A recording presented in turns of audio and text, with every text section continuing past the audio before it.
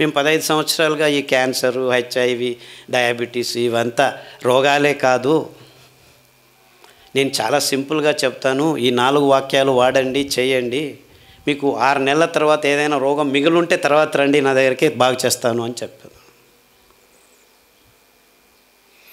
ఏంట్రా వీడు ఇలా నిలబడి ఇలా మాట్లాడుతున్నాడు?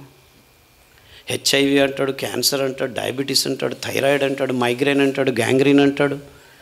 ఇవన్నీ ఈ డాక్టర్లందరూ వస్తే లైఫ్ లాంగ్ ట్యాబ్లెట్ తీసుకోవాలి బాగే కావు అని ఎంతవరకు అంటే రామునికి సీత ఏం కావాలయ్యా అంటే భారతదేశంలో ఎవరైనా చెప్తారు. కానీ ప్రపంచం వేరే దేశాలకు వెళ్ళి రామునికి సీత ఏం కావాలంటే ఇలా కళ్ళు మిటికి వేసి చూస్తారు. కానీ డయాబెటీస్ వచ్చింది బాగ్ కాదు అని మీరు ఆఫ్రికాలో ట్రైబల్ విలేజెస్కి వెళ్ళి చిన్న పిల్లాడికి చెప్పినా ఇంట్లో పెద్ద గొప్పతనం ఏముంది? అది బాగా కాదు అది నీకు తెలియదా అని చిన్న పిల్లవాడు కూడా నీ నెత్తి మీద ముడతాడనమాట అంటే రామునికి సీత ఏం కావాలని కొన్ని వేల సంవత్సరాల నుంచి మనం భారతదేశంలో తెలిసిన జ్ఞానము కంటే గడిచిన ముప్పై ఐదు సంవత్సరాల్లో డయాబెటీస్ వస్తే బాగ్ కాదు అని మొత్తం ప్రపంచమంతా తెలిసిపోయింది. అంటే వేల సంవత్సరాల నుంచి రాముడికి సీత ఏం కావాలని మన దేశం దాటి వెళ్ళలేదు ఈ విషయం. బట్ డయాబెటీస్ వస్తే బాగ్ కాదు అనే విషయం గడిచిన ముప్పై ఐదు సంవత్సరాల్లో మొత్తం ప్రపంచమంతా. ఎంతవరకు అంటే మీరు మన విశాఖపట్నం అరకులో వెళ్ళి వెళ్ళి అక్కడి లోపల అడవుల్లో దాక్కున్న అంటే ఈ ప్రపంచం ఈ సమాజం ఈ సభ్య సమాజం ఏమీ తెలియని వాళ్ళకి అడిగినా కానీ వాళ్ళు కూడా డయాబెటీస్ వస్తే బాగ్ కాదని చెప్తారు నీకు. అంటే ఎంతవరకు ఈ విషయం ప్రపంచంలో అలా కాడ్చిచ్చులాగా వెళ్ళిపోయిందంటే అంటే నేను మీకు అర్థమయ్యేదానికి చెప్తున్నాను. డయాబెటీస్ బాగ్ కాదు అనేది అంత గాఢంగా అందరి ప్రజ్ఞలో బాగా వేర్లు ఊరుకోపోయినాయి అనమాట అలాంటి దాన్ని వచ్చి ఇక్కడ స్టేజ్ మీద నుంచొని పదహైదు సంవత్సరాల క్రితమే ఏ అది రోగమే కాదు మీరు పిచ్చోళ్ళు బియ్యం తినద్దు గోధుమలు తినద్దు పాలు తాగొద్దు చక్కెర తినద్దండి కోడిగుడ్లు తినద్దండి రండి నేను ఒక ఐదు ధాన్యాలు తీసుకొచ్చాను తినండి ఆరు నెలల్లో బాగా కాకుంటే తర్వాత రండి అంటున్నాడు వీడు అని అందరూ పిచ్చి పిచ్చిగా నవ్వేవాళ్ళు నన్ను. నిజంగా వీడు ఒక పిచ్చోడు అనేవాళ్ళు. ఇన్ఫ్యాక్ట్ మా ఆవిడే చెప్పేది విషయ గంభీర్యాన్ని మీ ముందు చెప్తున్నాను. ఈ ఐదు ధాన్యాల్ని తినండి బాగవుతుంది అని చెప్పే ధైర్యం ఎక్కడరా నీకు? ఎందుకంటే డాక్టర్లందరూ మొత్తం ప్రపంచమంతా డాక్టర్లు.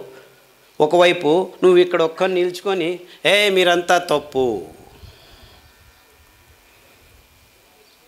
ఇప్పటికీ ఇరవై సంవత్సరాలు అవుతుంది నేను చెప్తూనే వస్తున్నాను. వందలు వేల లక్షల మంది ఇప్పుడు నా దగ్గరికి రాకుండానే నేను చెప్పిన మాటల్ని నాలుగే నాలుగు వాక్యాలు. కొద్దిగా ధాన్యం కొద్దిగా ధ్యానం.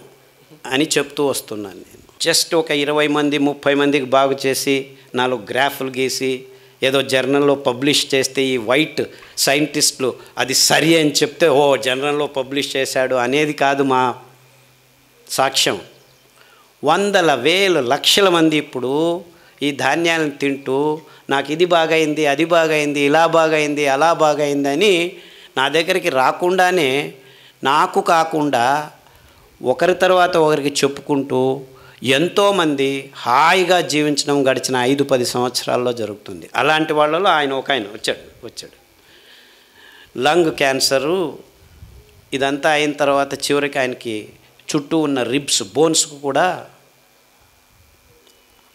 మెల్లిగా ఆవరించడం మొదలుపెట్టింది. అప్పుడు వస్తే ఆయనకి చూడు బాబు కొర్రలు అండు కొర్రలు రెండు రోజులు అండు కొర్రలు రెండు రోజులు కొర్రలు ఒకరోజు అరికలు ఒకరోజు సామెలు ఒకరోజు ఊదులు. తిను. తర్వాత గరికాకు సాదాపాకు అల్లము శుంఠి ఇలా కషాయాలు తాగు. బియ్యము గోధుమలు పాలు చక్కెర కోడిగుడ్లు మాంసము ఇవన్నీ మనిషి నోట్లోకి వెళ్ళవలసిన పదార్థాలు కాదు. వచ్చే పది పదహైదు సంవత్సరాల్లో మానవ జాతిలో మగవాళ్ళకి వీర్య కణాలు లేకుండా ఉండటం. అంటే మొత్తం ఈ భూమండలంలో తమంతకు తాము ముందు పుట్టబోయే తరాల్ని స్వతహా తమ చేతులతోనే నాశనం చేసుకునే బుద్ధిమాంద్యానికి మానవ కులం నాంది పాడింది గడిచిన పదహైదు సంవత్సరాల్లో. ఎంతవరకు అంటే ఎంతవరకు అంటే పిల్లలు పుట్టడం లేదు అంటే నో ప్రాబ్లం అని ఐవీఎఫ్ సెంటర్లు వీధి వీధికి రెండు మూడు వస్తున్నాయి. ఇంతకంటే ఎక్కువ సాక్ష్యం మీకేం కావాలి? అంటే అతి అద్భుతమైన రాస క్రీడలో ప్రతి జీవి భోజనం తర్వాత ఆహారం పొట్టకు పడిన తర్వాత వచ్చే తృప్తి నెక్స్ట్ తృప్తి ఏ జీవికైనా ఈ భూమండలం మీద రాసలీల. దాన్ని చేసుకోలేని స్థితికి ఇటువైపు ఆడవాళ్ళు అటువైపు మగవాళ్ళు తాము ముందు అంటే తాము ముందు అని పరుగులెడుతూ ఆడవాళ్ళ మూతి మీద మీసాలు మగవాళ్ళ బీజ కణాల్లో వీర్య కణాలు లేకుండా జరిగి చివరకు కృతకంగా పిల్లలు పుట్టించుకుంటామని IVF in in vitro fertilisation. అది ఈ ఆవులు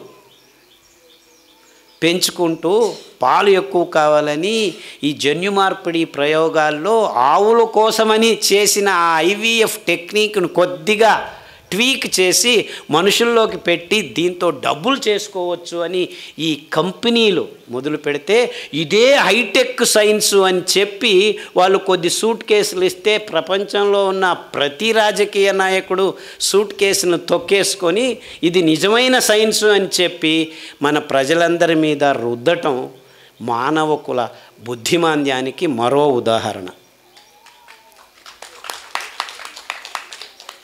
అంటే ప్రకృతి సహజంగా స్త్రీ పురుషుడు కలిసి చేసుకోవాల్సిన అద్భుతమైన రాసలీలనే వద్దురా అనే స్థితికి దిగజార్చిన ఈ విజ్ఞానపు పరిధుల్ని అంచులు కాదు మూలమే విజ్ఞానం కాదు అని చెప్పేదానికి ఇదే అద్భుతమైన ఉదాహరణ అని చెప్పేదానికి నాకు ఏ సందేహము లేదు.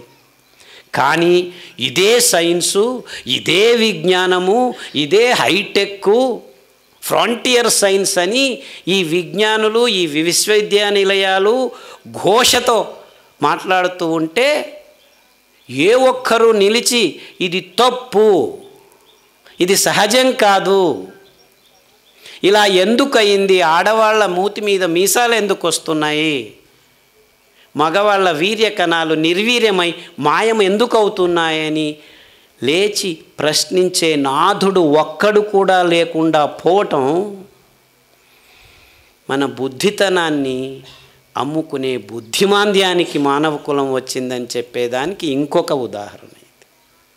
అంటే బుద్ధితనాన్ని అమ్ముకునే బుద్ధిమాంద్యం మానవ కులంలో మాత్రమే చూడగలుగుతాం.